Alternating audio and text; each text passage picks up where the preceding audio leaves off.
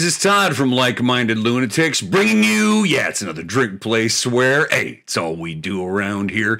I mean, besides spending our entire lives trying to figure out what a man is, it's all we've ever really done around here. Welcome back to the channel. Welcome back to Drink Play Swear, and welcome back to Like Minded Lunatics. You know that Like Minded Lunatics is not just me here at Drink Play Swear. No, it's not. It's also Mark Gifford, the co-founder of LML. He does the Friday night videos, and if you're not checking out those, then you're missing the best part on the channel. I think the best part uh, on YouTube, the best part of YouTube, that is. Bang! Please check out the Friday night videos. Uh, great playlist there. A ton of stuff to look at. And bang! If you're happy with what you see here, either on Friday night videos, Drink Play Swear, or on a number of uh, any of the playlists that you see around here. I'm going to stumble all day. You don't expect perfection. If you want perfection, go someplace else, friend.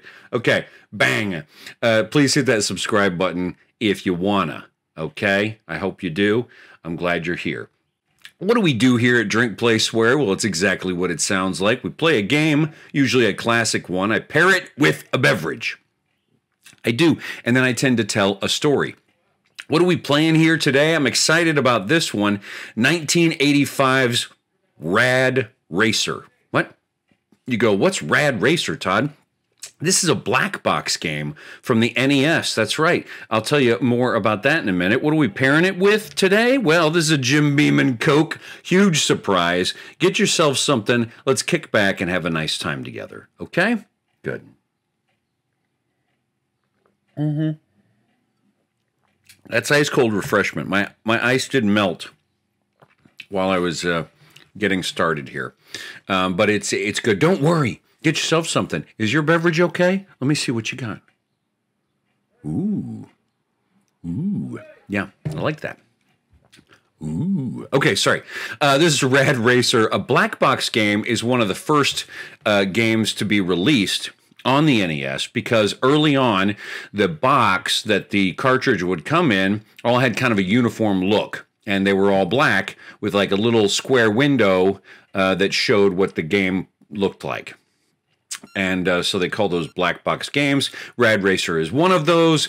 Let's get started. Okay, it's clear that A is the gas pedal, and I assume B is the brake, so hopefully I don't have too much trouble here. Let's get started and have some fun in Rad Racer, yeah? What do we want to get into in terms of the story today? Well, I'm going, I don't know, thoughtful today. You know, sometimes my stories are like kind of jackassery, and sometimes they're like, I don't know, like sort of trying to be more thoughtful. I want to walk through a difficult concept today. I really do. And by difficult, I mean that I don't quite know exactly what to do with it. That is a word. Okay?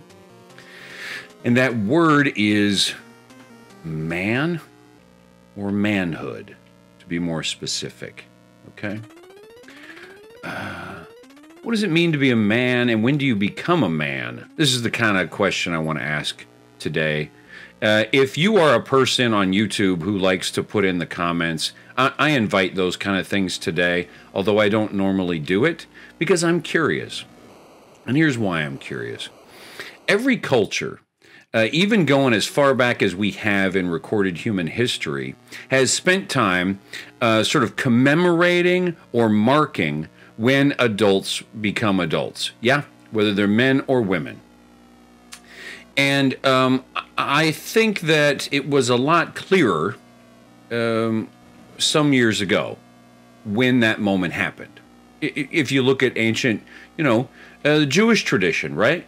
The bar mitzvah or the bat mitzvah, this was a moment in time that you commemorated becoming either a man or woman, and you, what, supposedly came out of this ceremony a, a somewhat changed person. And I think about that and I wonder could we benefit uh, in modern American culture uh, if we aren't Jewish or we aren't a part of one of these, uh, what, Native American traditions or African traditions or whomever else has done it? If we're not a part of those traditions, could we benefit from those?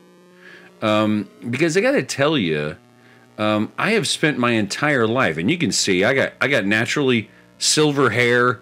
I'm I'm a I'm a gray haired dude with a beard. So you might look at me and say, this guy's obviously a man. Yeah. And I, I am not talking about uh, my sex because, of course, sex and gender are different things, right? We understand that. I only mention it because I hear politicians get this wrong all the time. So let's just be let's be clear when we say sex is biology, yeah, and gender is construct. Okay. So I am a cisgender dude, so I identify as man and my biology is man, so it's not real complicated for me. And so, given my personal experience, that's how I'm going to kind of talk about it. But I do want to acknowledge that I am open to, uh, you know, other ways of talking about it. Yeah? So, anyway, in modern culture, guys, yeah, don't really have a way of um, marking when they become men or when they become adults. Now, everybody's got their own ideas. You could say, "Oh, well, that's uh, puberty." That that pu- when when puberty happens, that's what we say a lot of times for women, right? They become a woman, meaning that they're capable of reproduction. Yeah. And uh, in the, in past generations, you know, especially hundreds of years ago, uh, young women uh, at puberty were ma- even married off, right? These days, we think of becoming a man as like something that happens later. And maybe that's uh, because of life expectancy, or maybe that's because we are um, childish. I don't know. But I will tell you, you know, like uh, at the time of puberty, what, what, are we talking? 12 years old for, for a lot of people? Uh, I did not feel like an adult. No, I don't know how to wash my own clothes. I mean, I can read well and I can wipe my own ass, but like, do you know what I mean? I didn't know how to boil water. I mean, I'm not a man. And see, this is what I'm going to say: is now it becomes unclear to me what that means. So let's talk about the possibilities here. When does someone become a man? And and of course, I'm I'm simultaneously talking about what it, what it means to become an adult woman but I, I, I, can only speak from personal experience, and so I'll be using man. But I do invite people to think about, you know, womanhood in a similar way. Maybe you say it's turning 18, uh, being able to vote, graduating high school, going off to college. Maybe that's when you become an adult because you're possibly moving away from home for the first time even if you don't go to college and you decide to start working, you buy a car, you get a job, you get your own place, that seems possibly like, you know, you're an adult. But I gotta say, I did go to college and hung out with a lot of college dudes. These dudes are not adults by any definition of the word, except that they can make their own macaroni and cheese and they know how to set an alarm, right? So, what am I saying, I guess, when I try to define the word man or the word adult and make these jokes about uh, the childishness of men? Well, at early stages, I'm talking about not knowing how to do stuff, right? Not having autonomy. But of course, as you get older, it also means maybe perhaps not knowing how to be a gentleman, right? Like not knowing how to uh, treat uh, folks of the opposite sex or the opposite gender. And maybe there's so much going on in this conversation that it's impossible to objectively come to a determination as a culture. I mean, maybe we're so varied as a culture, eh, it's not going to be able to happen. Okay, it's possible. But I want to share a personal experience, like I like to do on here, um, about my adulthood or about my manhood. And that is no, I'm not telling sex stories. Don't worry about it. Yeah. You wish, brother. No, I'm just kidding. Uh, so, one of them is this, and I, am going to get serious here for a minute. When my uh, mom died, I was uh, 28 years old, I think and um, I was in charge of uh, everything to to wrap up um, her the, the end of her life. And one of those duties was to give the eulogy. Okay. And I got up in front of a church of about 200 people and uh, said goodbye and uh, had written the speech and said goodbye, right? And afterwards, I heard very kind words from very, you know, some family members about how they thought it went and that they thought it was, uh, you know, I did a good job.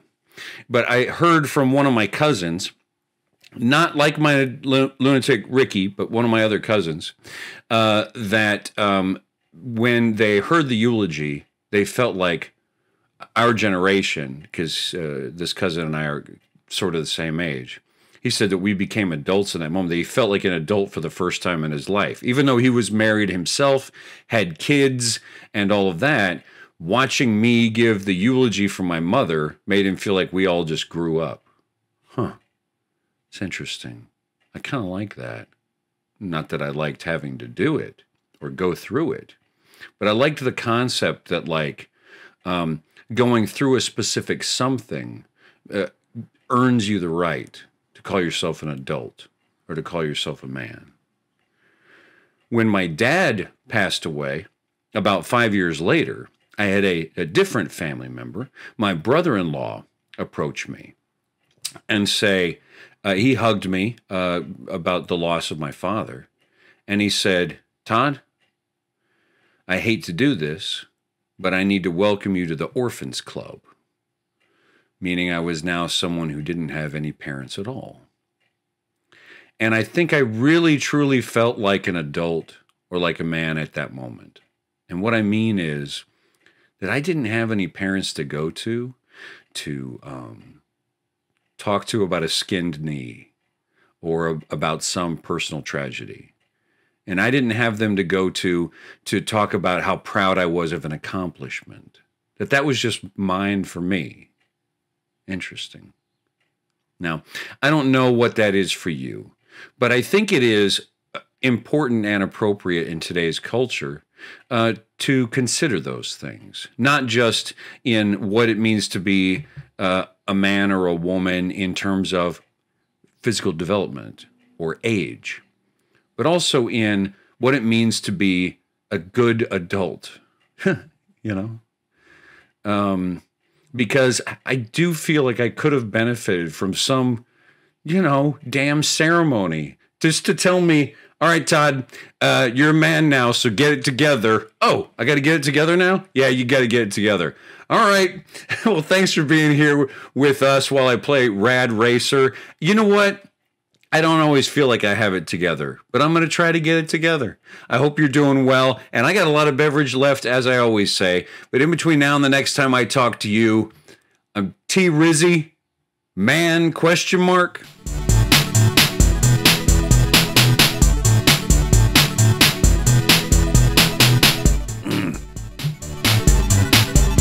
Man drink whiskey. See ya.